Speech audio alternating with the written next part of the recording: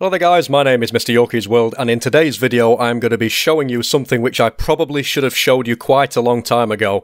Uh, it's one of the main sort of tricks slash uh, hints, ideas, hacks, whatever you want to call it.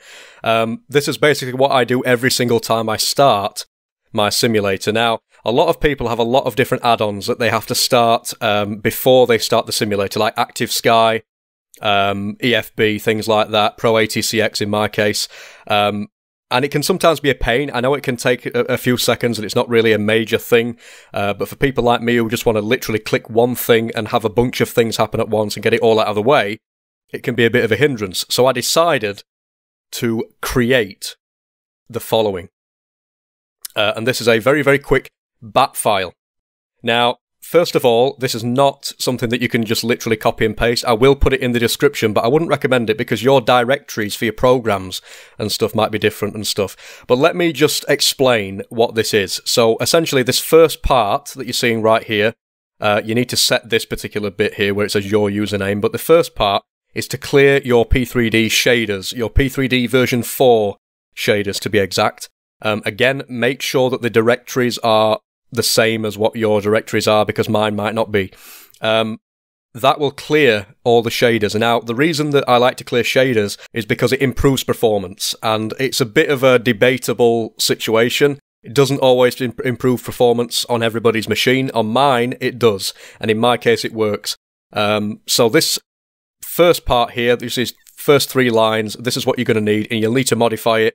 Uh, specifically, you'll need to modify the set folder part definitely um, the rest of it should be all right, uh, and that will initiate um, the clearing of all your shaders. So it'll do it automatically.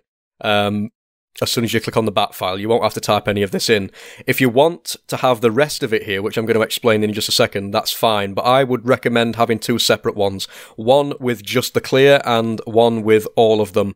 Um, or you can have like literally just one of each. It's entirely up to yourself. Um, the second part here, lines 4 to 8, are what happens after the clearing of your shaders. Now, this is basically just to start a selection of programs without having to click on them individually.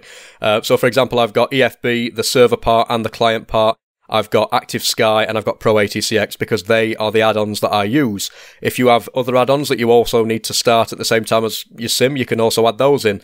You can add the sim itself, like you could put start and then um, type in P3D and start that up as well with exit on the end. And that will basically execute, first of all, clearing your shaders, and then it will start the add ons in this case, and then I can manually go in and start P3D. It basically just speeds things up for those of you out there who want to, like, maybe drag it down here somewhere in the taskbar. Um, and just have something you can click on and have everything happen at once without having to click on separate things. It's something that I personally use. I don't know whether it's going to be of any use to anybody else, but I just thought I'd share it anyway because to me it's a really, really helpful little uh, little bat file.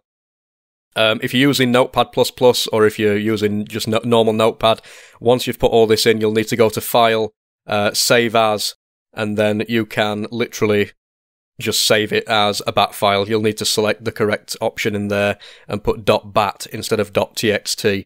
Uh, and once you run it, it will carry out that command. It's important that you have the exit on the end of it if you want the uh, the CMD window to close after the, uh, the the actions have been completed. If you're not too bothered, then you can leave it out.